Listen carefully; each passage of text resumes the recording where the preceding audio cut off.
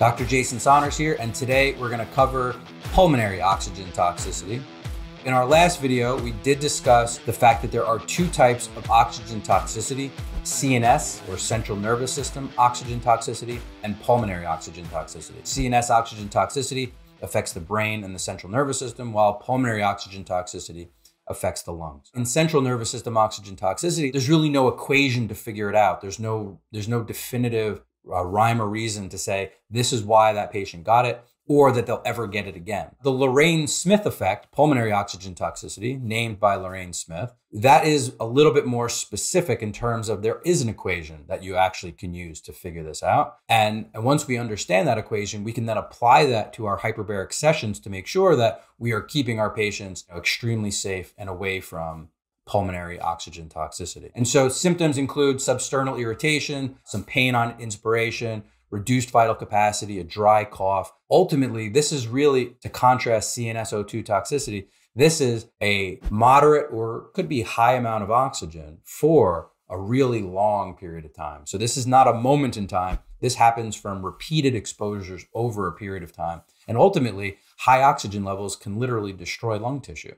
And so we can't keep people on high levels of oxygen for really long periods of time. You'll see that patients that are on oxygen often have a cannula and let's say they're being treated at home on a concentrator, they might only be getting two to four liters of oxygen through that concentrator while they're breathing, you know, ambient air around with that.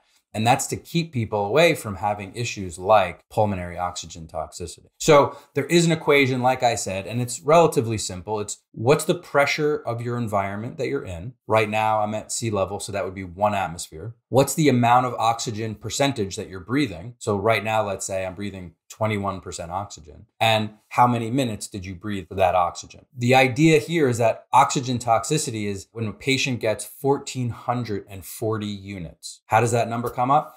So that's basically being at one atmosphere, breathing 100% oxygen for an entire day. So 24 hours in a day, it's 1440 minutes. So one atmosphere times 100% oxygen, one times one times 1440 minutes equals 1440 units of oxygen or oxygen tolerance units, as they're called in pulmonary oxygen toxicity. If you're breathing 100% uh, oxygen 24 hours a day, seven days a week, you are gonna have oxygen toxicity guaranteed. Now that we know that equation, we can apply that and to understand how that comes up in hyperbaric uh, settings. While 1440 is pulmonary oxygen toxicity, what we would say is that 825 units is the amount required to have a reduced vital capacity of about 4%. So not only do we not want to get 1440 units, we certainly don't even want to get 825. In fact, any signs and symptoms that we're starting to exceed pulmonary oxygen limits, we should back off from that. And so knowing the 825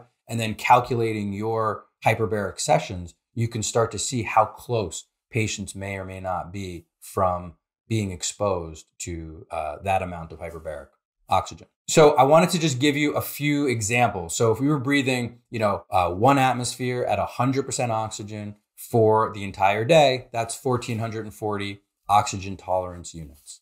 If you're breathing 100% oxygen at one atmosphere for 825 minutes, that would get you the 825 oxygen tolerance units. If we went to 1.3, which would be the pressure of a soft chamber, and you were breathing 94% oxygen, and you did that for 90 minutes, so it would be 1.3 times 0.94, 94% oxygen, times 90 minutes, you would get 110 oxygen tolerance units. How about 1.5? So you go a little bit deeper, 1.5 atmospheres at 100% oxygen for 90 minutes.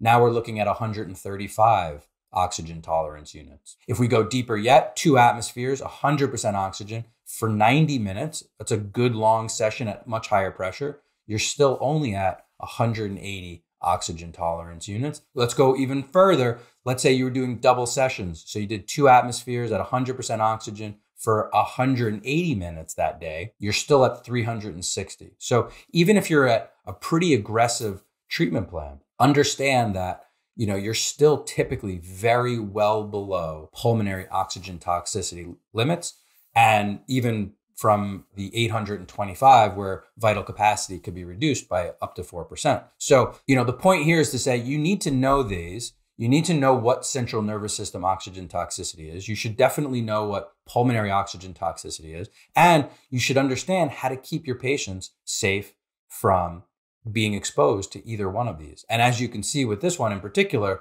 if you calculate those sessions out, we are nowhere near pulmonary oxygen toxicity, even with relatively aggressive hyperbaric sessions. Somewhere along your path in hyperbaric medicine, someone's going to come up to you and say, Don't you know that oxygen is dangerous? Patients can get hurt if they get exposed to too much oxygen. And what you're going to now be able to say is, Oh, yeah, of course. Yeah, I know that. You know, hyperbaric oxygen is amazing. It does help a lot of people with a lot of different issues. But of course, too much of even a good thing could cause a lot of damage. Did you know that there is actually two types of oxygen toxicity? There's central nervous system oxygen toxicity and there's pulmonary oxygen toxicity. Central nervous system oxygen toxicity starts to become apparent at around a pressure of 2.0 and more. And so we know to watch for all the signs and symptoms of central nervous system oxygen toxicity. And we know that if we ever see any of the signs and symptoms, we immediately remove the oxygen, bringing their pressure of oxygen in their body down. And within five minutes, we'll know if we can continue our treatment or if we should really come back to the surface that day. And then pulmonary oxygen toxicity, well, that we can calculate. And so we know that 1,440 units of oxygen in a given 24 hour period would be pulmonary oxygen toxicity. We also happen to know that 825 units still decreases vital capacity by up to 4%. And so, in order to keep our patients as safe as possible, we keep them even below the 825 units per 24 hours. Now, of course, you also know that the clock resets every 24 hours. So, you know, each day we get to start that process over again. And our standard treatments in our clinic are typically between 100, 125 to maybe 300 units in any given day. And so knowing that we obviously we are able to keep our patients nice and safe and, and very far away from either type of oxygen toxicity. So if you know those details and you're able to explain it that way, now not only are you in charge and knowing that you're keeping your clinic and your patients safe, but you could also have these conversations with people who may want to challenge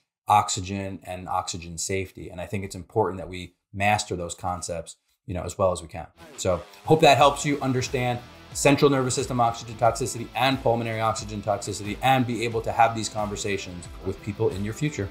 Thanks a lot. Whether you're a chiropractor or a naturopath or an acupuncturist or a DO or even an MD, but you're looking at hyperbarics through this lens, the lens that I'm describing, which is applying hyperbarics for all these off-label conditions, this is the class that teaches that. And right now it's the only class that teaches this type of hyperbarics in this way and that's an actual certification course. Check out hbotusa.com and uh, right across the, the top you'll see upcoming events. You can click on that and it'll show you uh, when our next courses are going to be.